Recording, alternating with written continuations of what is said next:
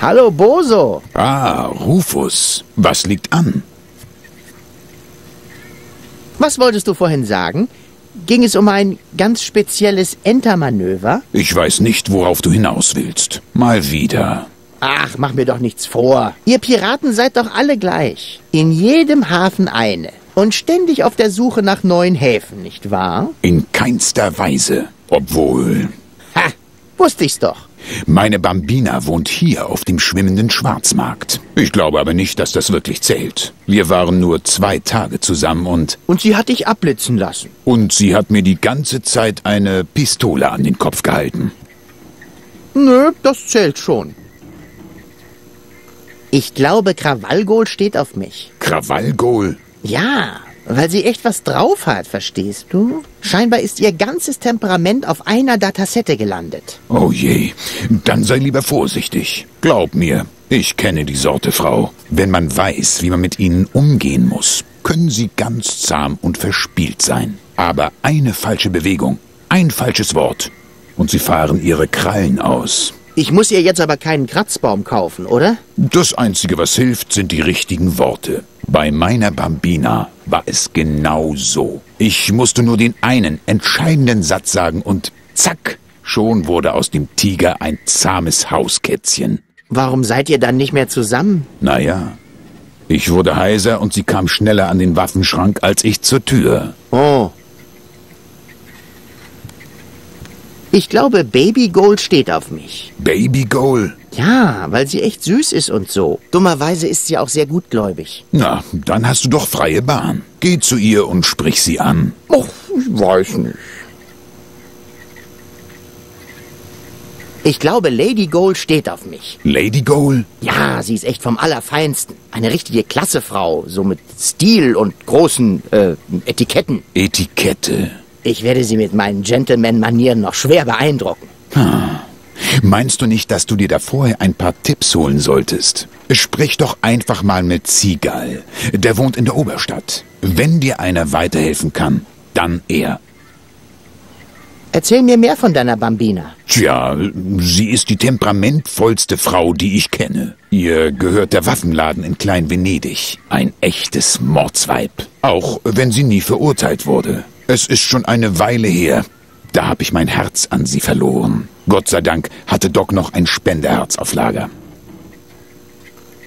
Wie lauten denn diese mysteriösen Worte, mit denen man temperamentvolle Frauen bändigen kann? Vergiss es, Rufus. Diese Worte haben schon genug Schmerz verursacht. Aber mittlerweile muss die Wunde in deinem Herzen doch wieder verheilt sein. Es geht hier nicht nur um mein Herz, Rufus, sondern auch um mein Schultergelenk, ein Bein und den linken Lungenflügel. Ich finde, du solltest deiner Bambina mal einen Besuch abstatten. Was? Nein, vergiss es. Ach komm schon. Sie klingt echt scharf. Könnte dir die Kehle aufschneiden. Und würde. Bist du jetzt ein Pirat oder so ein Piro? Zum hundertsten Mal. Ich bin kein Pirat. Und ich habe auch kein Interesse, mich andauernd von dir in irgendwelche Abenteuer verstricken zu lassen. Ich mochte mein Leben, wie es war, bevor wir uns getroffen haben. Ruhe, Frieden, Gemächlichkeit. Kaperfahrten, Seeschlachten, Meutereien, Ermordung der Erstgeborenen. Sonntags Nachmittagsspaziergänge, Gartenausstellungen. Brandschatzen, Kiel holen, Schatz suchen, Kreuzigungen. Na verdammt, Rufus. Nicht jeder mag Konflikte. Und ich schon gar nicht. Magst du doch. Nein, mag ich nicht. Magst du doch. Nein und nochmals nein. Doch, doch, doch, doch, doch, doch, doch, doch, doch, doch, doch. Im Gegenteil, ich scheue Konflikte. Ich. Okay. Ich gebe auf. Pah, wusste ich's doch. Du stehst immer noch auf sie, nicht wahr? Ich werde mal bei ihr vorbeischauen. Triff mich in Klein-Venedig vor dem Waffenladen, okay? Ich werde seelischen Beistand brauchen. Und medizinischen. Schon klar, du alter Haudegen.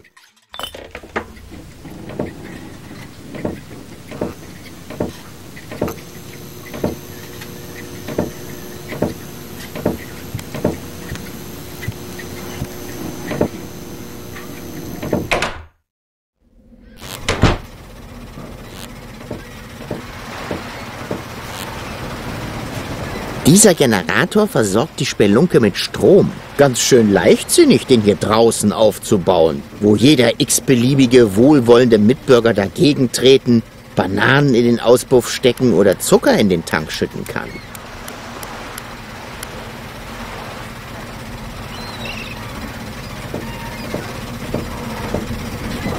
Hm, wie war das gleich? War Zucker im Tank gut oder schlecht für den Motor? Es gibt nur eine Möglichkeit, das herauszufinden.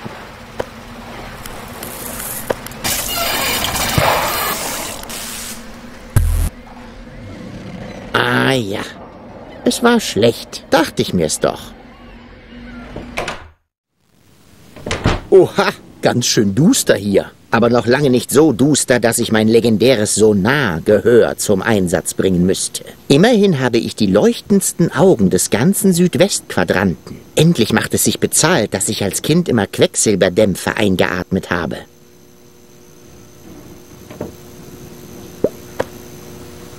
Au! Ah! Oh! Aua! Nichts passiert. Jetzt leise. Ha, Hab's.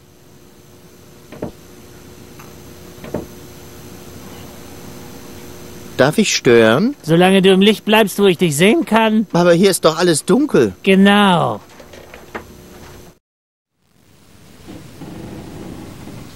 Hast du den Schlüssel für die Spelunkentoilette? Ja, aber ich brauche ihn noch. Ich habe da eine Wette am Laufen. Du hast gewettet, dass du die Toilette benutzen wirst? Ja, aber noch konnte ich mich einfach nicht überwinden. Hast du etwa Schiss? Noch nicht genug. Lass uns spielen. Gerne. Aber zunächst muss ich deine Finger sehen. Hast du sie dabei? Als ich zuletzt nachgesehen habe, waren sie am unteren Ende des Arms. Mal sehen. Ah, da sind sie ja. Haha. Netter Versuch, Kumpel. Äh, wieso? Was ist denn? Das sind keine offiziellen Turnierfinger. Sie könnten gezinkt sein. Komm wieder, wenn du dir offizielle Turnierfinger besorgt hast. Ich gehe da mal wieder. Mach das.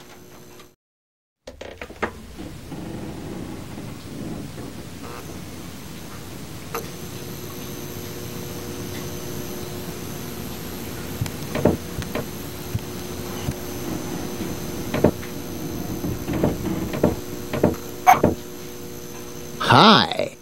Ah, willst du...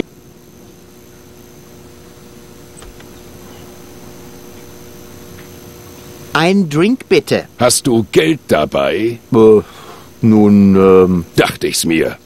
So wie du rumläufst. Warum sagen das immer alle? Komm wieder, wenn du Geld hast. Für Durchreisende lasse ich nichts anschreiben. Ein Drink für die Lady bitte. Willst du mich etwa betrunken machen? Würde es denn was bringen? Dich Hemd trinke ich doch mit nüchternem Magen unter den Tisch. Also kannst du es auch genauso gut gleich aufgeben. Aufgeben? Weißt du überhaupt, mit wem du hier redest? Mit einem Typen, der sich keine Drinks leisten kann? Ah ja, Mist. Bis später. Komm wieder.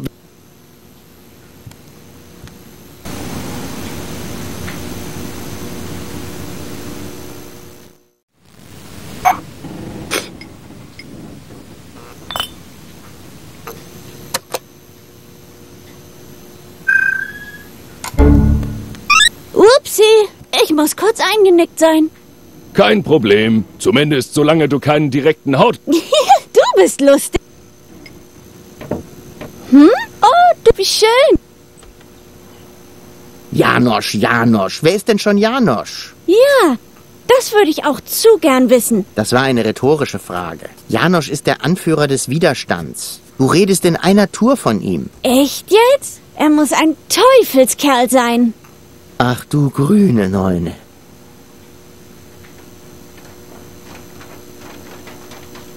Was kann ich tun damit? Wir müssen uns dem widerstehen. Wie Janosch. Aber dann kommst du mit. Na klar. Warte hier. Oh ja.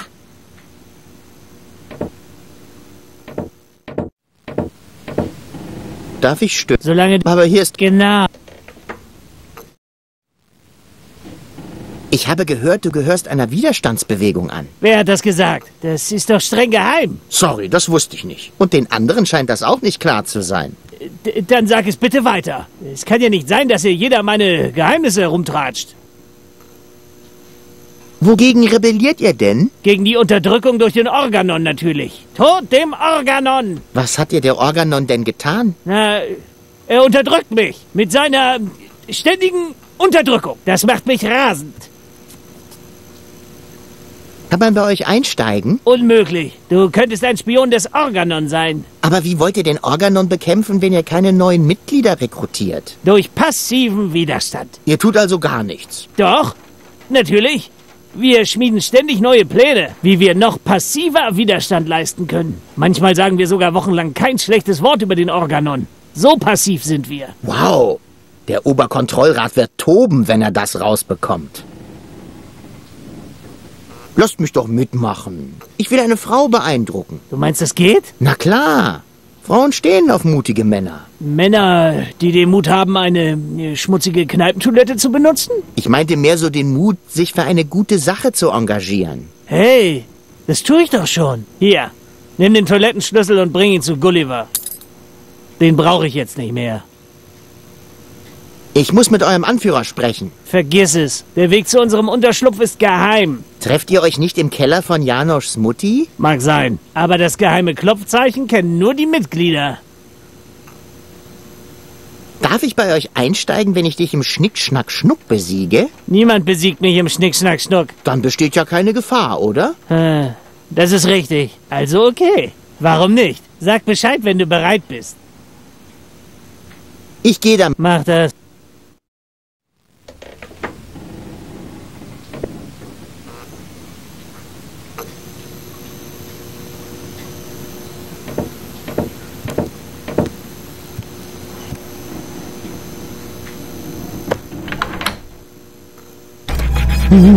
Ist es hier drin gerade kälter geworden?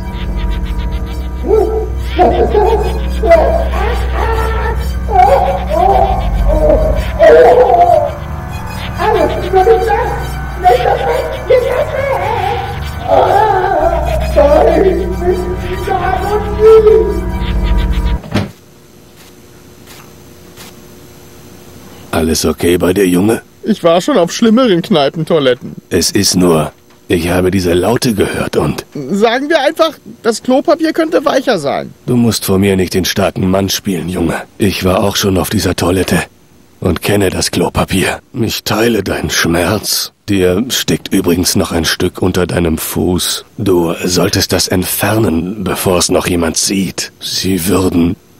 Sie würden es nicht verstehen.